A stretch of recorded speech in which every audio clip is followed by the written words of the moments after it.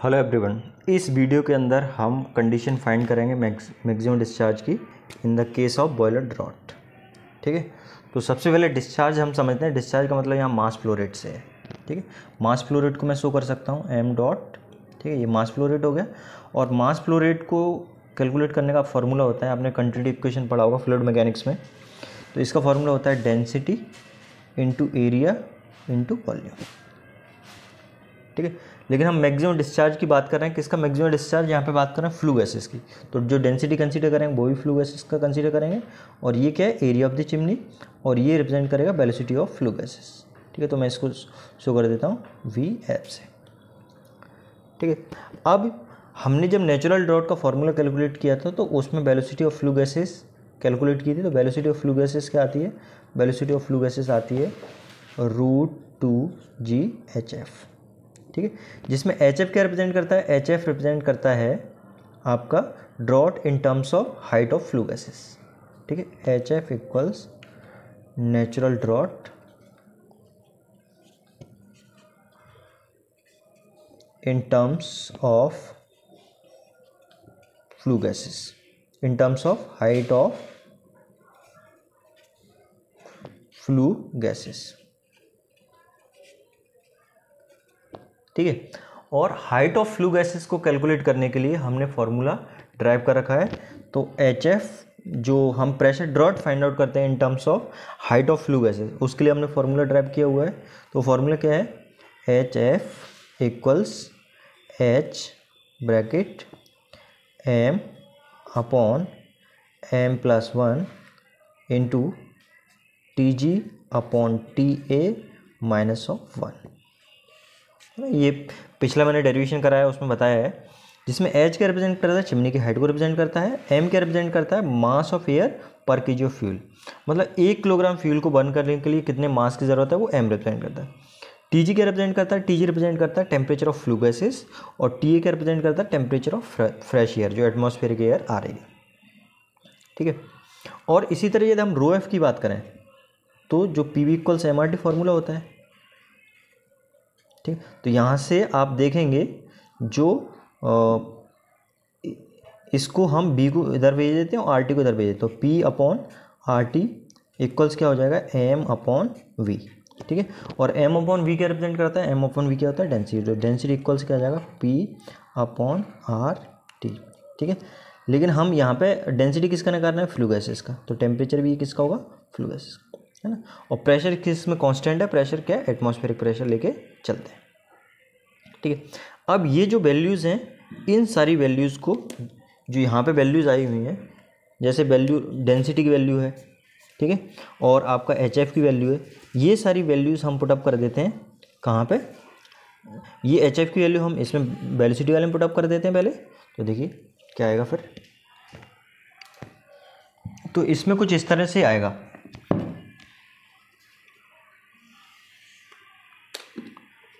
V F V F equals क्या हो जाएगा? वी एफ़ इक्वल्स हो जाएगा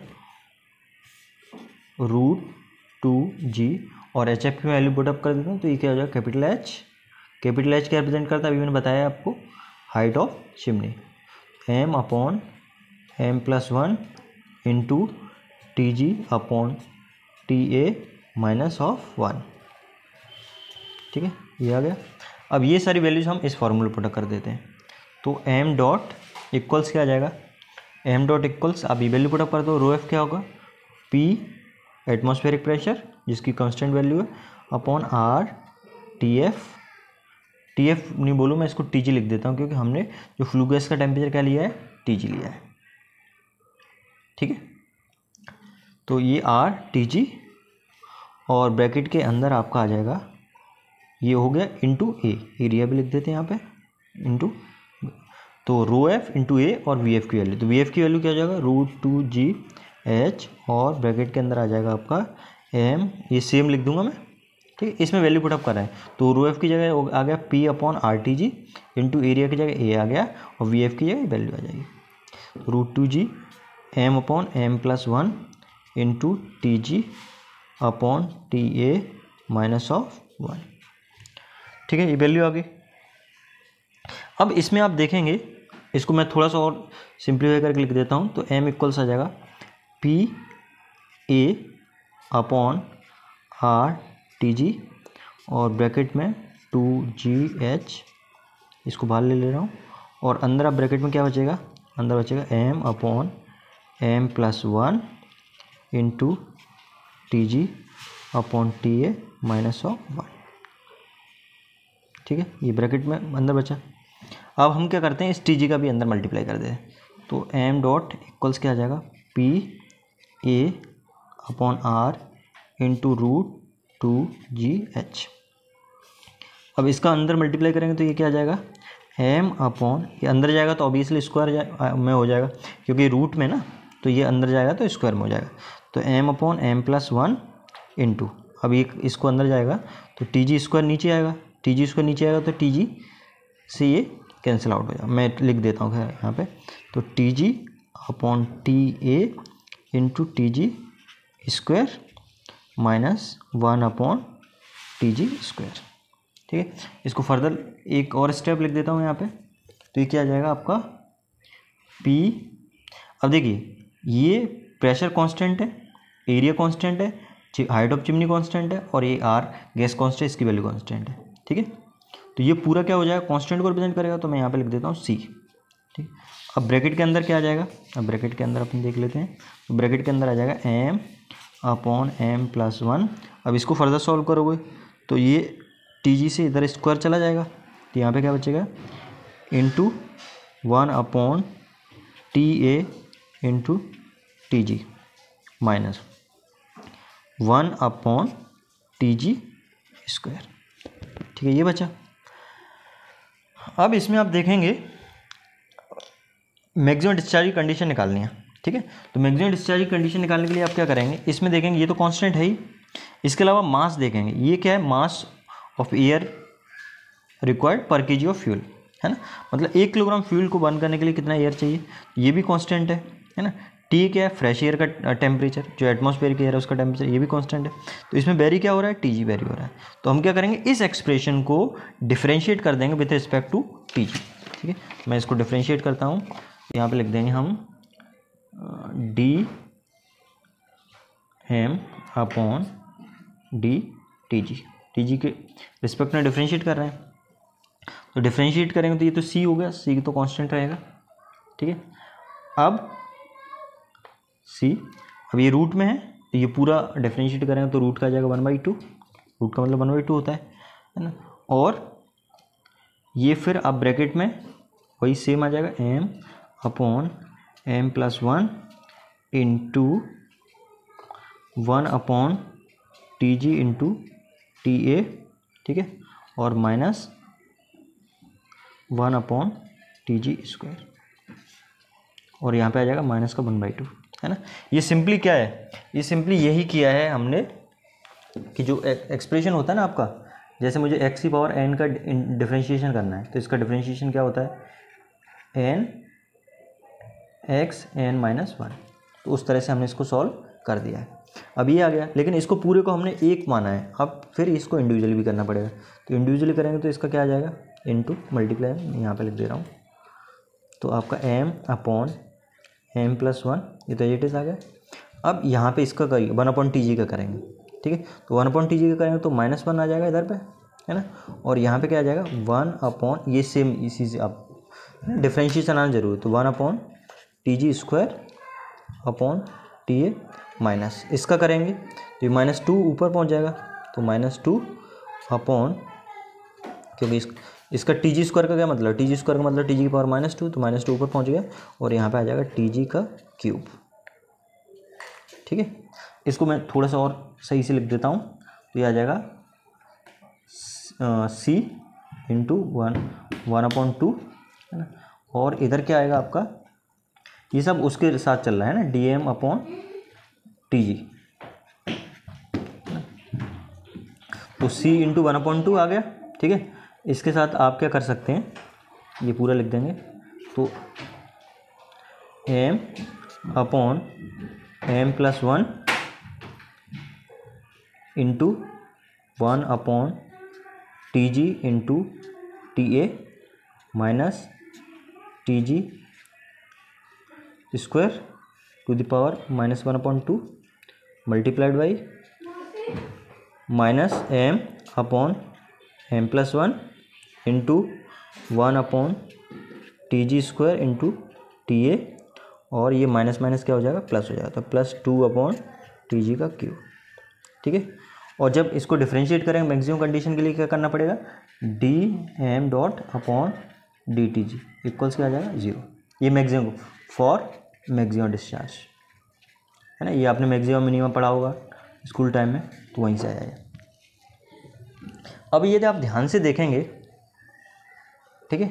तो मैं इस टी जी स्क्वायर को यदि मैं बाहर ले लूँ इसी में टी जी स्क्वायर को बाहर ले लूँ तो ये क्या आ जाएगा? M upon M plus one into है ना? टी जी स्क्वायर को यदि मैं बाहर ले लेता हूँ तो यहाँ पे क्या आ जाएगा? ये T G upon T A ये मैं दूसरी तरह से इसको बोलता हूँ, मैं one upon T G square को बाहर ले लेता हूँ, ठीक है? One upon T G square को यहाँ पे बाहर ले लेता हूँ तो one upon T G square को यदि मैं बाहर लूँगा तो इसमें क्या बचेगा? M upon M plus one और यहाँ पे टी जी अपॉन टी आ जाएगा माइनस वन आ जाएगा।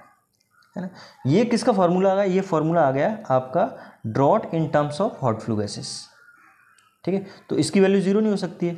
इसका मतलब ये जो टर्म है, इसकी वैल्यू आपका ज़ीरो नहीं हो सकती है। है ना? It can't be equals to zero इसका मतलब ये वाला जो टर्म होगा, इसकी वैल्यू किसके इक्वल होगी? ज़ीरो के इक्वल होगी। ये लॉजिक आपको समझ में आया? है ना? क्योंकि ये ये तो one upon T G square मैं बाहर निकाल लेता हूँ यहाँ पे। ठीक है? One upon T G square बाहर निकाल ले टी जी भी ज़ीरो नहीं हो सकता है। तो one upon T G square में बाहर निकालूँगा तो यहाँ पे क्या बचेगा? M upon M plus one multiplied by और यहाँ T G upon T A बचेगा माइनस वन बचेगा। ये फिर जो फॉर्मूला आएगा, ये किसका आएगा? Draught in terms of column of flue gases है ना? जिसकी वैल्यू ज़ीरो नहीं हो सकती है, ठीक है? तो इसकी वैल्यू इस टर्म की वैल्यू ज़ीरो नहीं होगी तो इसका मतलब इस टर्म की वैल्यू ज़ीरो होगी, क्योंकि इन दोनों का जो मल्टीप्लिकेशन है, वो किसके बराबर आना चाहिए? ज़ीरो के बराबर आना चाहिए फोर मैक्सिमम तो इसका मतलब यहाँ पे minus M upon M plus one into one upon T G square T A plus two upon T G cube equals क्या आ जाएगा? ज़ीरो आ गया। ठीक है? इसको फर्दर सॉल्व करते हैं। इसको मैं फर्दर सॉल्व करूँगा तो ये किस तरह से आ जाएगा? माइनस एम ये पूरा, ये पूरे term minus M upon M plus one into one upon ये आपका T G square into T A equals आ जाएगा minus two upon T G cube ठीक है? तो यहाँ से स्क्वायर से ये क्यूब चला जाएगा। तो यहाँ पे फिर आप देखेंगे टी जी और ये माइनस से माइनस कैंसिल आउट हो जाएगा। तो टी जी इक्वल्स कितना आ जाएगा? ये इस तरफ़ चला जाएगा और ये सारी वैल्यू इस तरफ़ आएगी। तो टी जी इक्वल्स आ जाएगा टू है ना? और ये क्या? M plus one upon M okay और इंटू टी ए ठीक है? तो ये कुछ मैं थोड़ा इसको सही से लिख देता हूँ और। तो टी जी इक्वल्स क्या आ गया आपका? Two T A multiplied by M plus one upon M ठीक है? ये आपका इक्वेशन आ गया। तो ये कंडीशन जब होगी तो आपका डिस्चार्ज क्या होगा? मैक्सिमम आएगा। अब थोड़ा सा यदि इसको हम फर्दर सॉल्व करें। तो कुछ इस तरह से आप, इसकी वैल्यू आ जाएगी। आपका ये आ जाएगा T G upon T A equal आ जाएगा आपका T G upon T A equals two M plus one upon M ठीक है? अब हमने जो ड्रॉट के फॉर्मूले ड्राइव किए हैं, उन ड्रॉट के फॉर्मूले में क्या करते हैं? इन वैल्यूज़ को पुटअप करके देखते हैं। ठीक है? तो मैक्सिमम कंडीशन आ जाएगी। अब जैसे फॉर एग्जांपल हम वाटर के टर्म्स में निकाला है तो वाटर के टर्म्स हमने कैसे कैलकुलेट किया है? H W equals three fifty three H bracket one upon T A minus M plus one upon M और multiplied by T G upon T A sorry ये इस तरह से नहीं है, ये वन अपॉन टी ए ना? वन अपॉन टी ठीक है, अब हम क्या करते हैं? M plus one upon M की वैल्यू यहाँ से पुटअप कर सकते हैं। तो M plus one upon M की वैल्यू क्या आ जाएगी? ये वैल्यू आएगी आपकी M plus one upon M ये इक्वल आ जाएगा आपका T G upon two T A ठीक है? तो हम एच डब्ल्यू की वैल्यू पुटअप करें।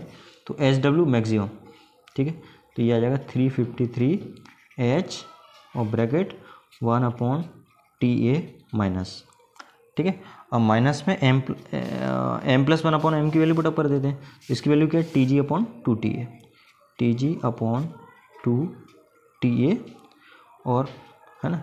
Multiplied by one upon T G ठीक है? तो टी जी से टी जी कैंसिल आउट हो जाएगा। ठीक है? टी जी से टी जी क्या होगा? कैंसिल आउट हो जाएगा। तो इसका जो वैल्यू आएगा, वो कुछ इस तरह से आएगा। थ्री फिफ्टी थ्री एच है ना? और इधर क्या बचेगा? One upon T A minus. ठीक है?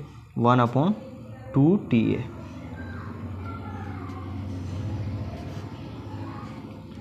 ठीक है?